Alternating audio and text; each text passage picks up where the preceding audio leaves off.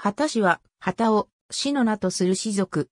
大和の綾氏、鴨の氏などと、並び有力な帰化氏族である。神宮皇后、王神天皇の時代に、旗氏一族の数三万人から四万人規模が、当国に帰化したとの記録が残っており、天皇家に協力して、朝廷の設立に関わったとされている。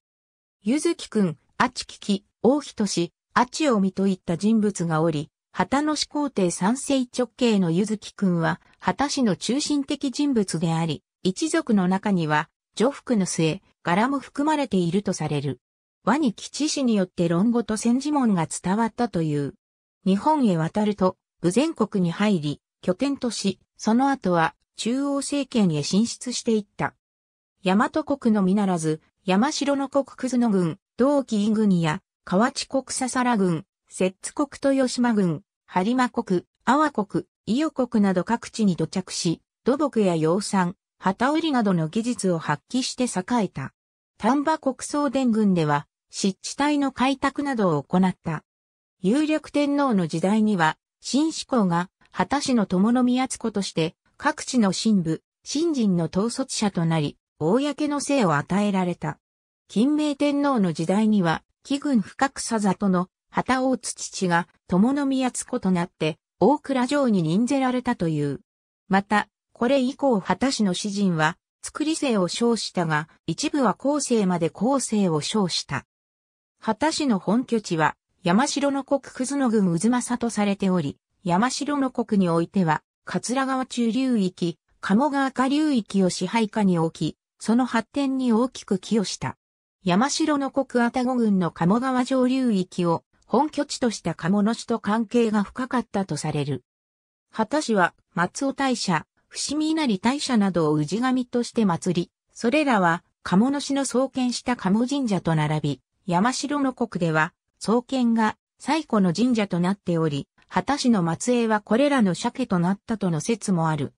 水古天皇30年には当時の中心的人物であった旗川和が広高寺を建立している。河内国笹原郡にも、渦政の地名が存在する。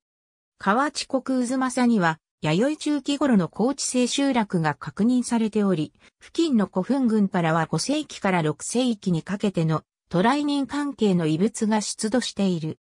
旗氏が現在の淀川の治水工事としてマムタ包みを築堤する際に協力したとされ、現在の厚田神社が広高寺に記録が残る川内博士寺の後だったとした調査結果がある。天智天皇は、旗氏による山城の国への開拓を進めていたが、未開のままとなる。天皇元年の桓武天皇即位により再び開拓がなされ、延暦3年に長岡京を造営する。延暦13年には、分清丸、藤原小黒丸らの提言もあり、平安系への銭湯となった。後に東国にも多く入ってきたとされ、旗氏は相模国周辺地域に居住したとされる。東京都内では、現在の杉並区久我山が拠点であったとされており、井の頭池より、現在の玉川上水流域の北沢分水場を掘り、高下山堀を通る用水路を開削したと記されている。新鮮性史録によれば、王神14年に大陸から百済を経て日本に帰化した士族であり、旗の始皇帝の末裔にあたるゆずきくんが中心的人物とされる。朝廷の設立や土地の開拓などに深く携わり、その勢力は8世紀、9世紀にさらに拡大されたと言われている。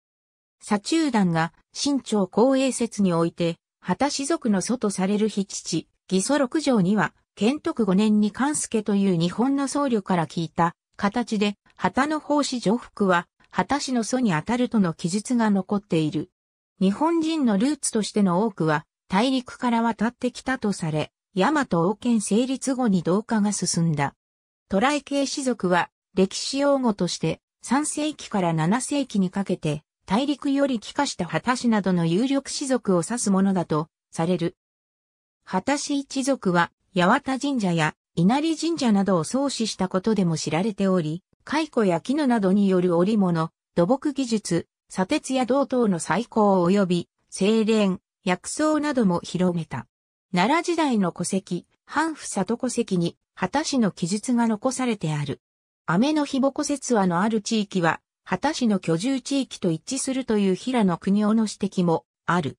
天武天皇14年の発色のせいでは、意味記の姓を賜物組みされるが、意味記の他にこう、スクネなどを称する家系があった。